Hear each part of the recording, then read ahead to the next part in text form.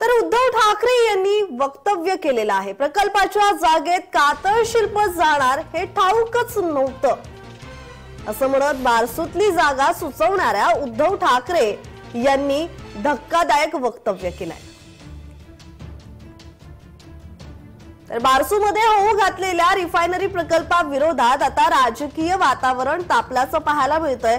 उद्धव ठाकरे हे बारसूमध्ये पोहोचलेले आहेत. तिथे त्यांनी ग्रामस्थांशी बातचीत केली आहे चर्चा केली आहे. त्यानंतर त्यांनी कातळ शिल्पाचीही पाहणी केली. यावर बोलताना त्यांनी म्हटलंय की प्रकल्पाच्या जागेत कातळ शिल्प जाणार हे ठाऊकच नव्हतं. तर बारसूतील जागा उद्धव ठाकरे यांनी सुचवली होती तसं पत्र त्यांनी पंतप्रधान नरेंद्र मोदी यांना लिहिलं होतं. आता त्यांच्या या वक्तव्यामुळे राजकीय वर्तुळात चर्चा रंगू लागली आहे.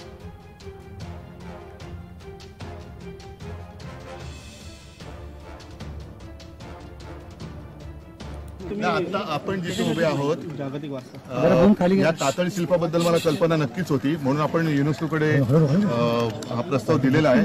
पण ही सुद्धा जागा या वादग्रस्त रिफायनरीमध्ये येते हे मला हल्ली कळलं. आणि माझ्यापेक्षा रिजगुड साहेब आहेत हे अभ्यासक आहेत हे एक शिल्प आपण बघतोय. या अशा सड्यावरती पठारावरती अनेक अशी कातळ शिल्प आहेत जी साधारणतः प्रागैतिहासिक काळामधली असावी किंवा अश्मयुगीन काळातली असावी. तर आपण जरा माहिती थोडक्यात सांगा आणि कसा आपल्याकडे असा पुरातन खजिना आहे त्याची माहिती द्या की ज्याचा ज्याचा ज्याचा पूर्णपणे ज्याची विल्हेवाट लागू शकेल.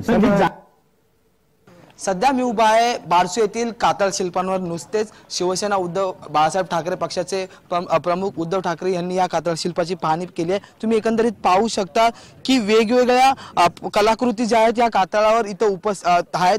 आता जे पर्यावरण खात एकंदरीत याचा जो अभ्यास करतात त्यांनी उद्धव ठाकरे यांना माहिती दिली की ह्या कातळ शिल्पात दोन वाघ आहे.